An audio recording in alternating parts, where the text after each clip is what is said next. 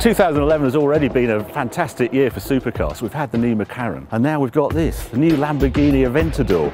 This is one I've really been waiting for. 700 horsepower, 6.5 litre, normally aspirated engine. It looks fantastic. It's a proper Lamborghini. It's poster quality looks and under the skin it's all carbon fibre, lighter than the previous generation, brand new engine. We're at Vallelunga in Rome, in Italy, and we've got it all day. I've got the key. Let's go and find out what it's like. Right, it's our time to get on track with Vallelunga.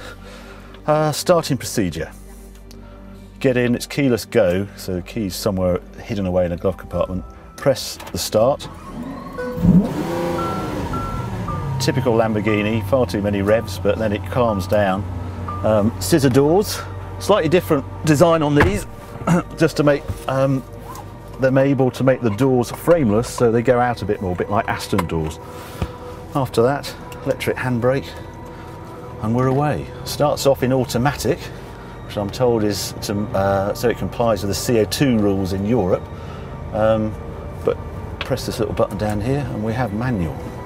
But telling me it's taken about four years to get this car from clean sheet and it's a true clean sheet and that's why it feels so different to other Lamborghinis. There is nothing this car shares with an older model. Gearbox, engine, chassis, monocoque, carbon fibre, absolutely brand new. Three settings, Strada, Sport and Corsa. Strada is what it says for road driving. Very gentle, keeps the noise down a bit, not as violent on the gear change and a bit more assistance on the steering.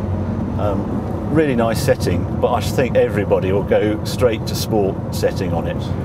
When we're in sport, quicker on the gear change, and the difference on the handling is instead of having understeer, they say power oversteer in this format. I have to say, in the dry conditions, hot conditions at Vallelunga, it doesn't exactly understeer at the wheel does make a glorious noise. Just a bit looser when you're turning in. Do notice it. And then we'll try Corsa. And what Corsa does, well, it feels like a gear change breaker. Oh, incredibly violent gear change. If you're going to set a lap time, Corsa is how you do it. The power oversteer, play power oversteer is gone. This is all about ultimate lap time. Oh. I, spent the morning in the new Aventador, and it's a very different sort of Lamborghini. And I'm with uh, Maurizio Reggiani, who's technical director of Lamborghini, and he's just going to take me around some of the technical highlights because there's quite a few on this car. We have aluminium doors, we have front fender in aluminium, and also the front bonnet is in aluminium. We have a rear fender in SMC, means ah, plastic right. material. We use RTM for the engine bonnet and for the air vents and also for the spoiler and for rear and the front bumper we use Biflex that is a plastic that can absorb energy.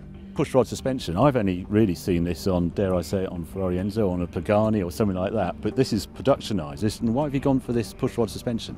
Pushrod because uh, is uh, something that is uh, necessary in order to guarantee the perfect travel of the wheel in every condition and to be able to reduce dramatically the unspring mass of the wheel and the tire and to guarantee to have a precise uh, movement of every components with the right stiffness. From 0 to 100 you have an average of 1G because uh, if you made the calculation right. from 0 to 100 it's 2.95 seconds but if you see the instantaneous acceleration you have after the first meter you have 1.6 G and this is something where you have your body that yeah. is really that's Veyron quick, isn't it? 1.6G? Yeah, but uh, you can imagine with a four-wheel drive system that is able to react so fast in every condition, you have really like it. Well, thanks, Maurizio. We'll go out and do some more driving. I could play all day out here. Carbon brakes seem to cope really well. Usual grumbles, but always there. But it's the epic power and this handling. A lot of it to do with the um, just the lowest C of G compared to the SV. Really notice it round here. It's a Lamborghini, a V12 Lamborghini, track car. So you have to be flat out for the gear change to actually ram in at 50 milliseconds, but it's worth it for the effect. Just drifting, just it's beautiful to play around. Whoa! Been an epic day. We've been on track all day at Vallelunga in the new Lamborghini Aventador. Last thing I was expecting at the beginning of the day, Lamborghini V12s and tracks just don't mix. But this one does. This is a game changer for Lamborghini. Brilliant balance, brilliant handling, and you can use all that 700 horsepower on track. It's a complete shock.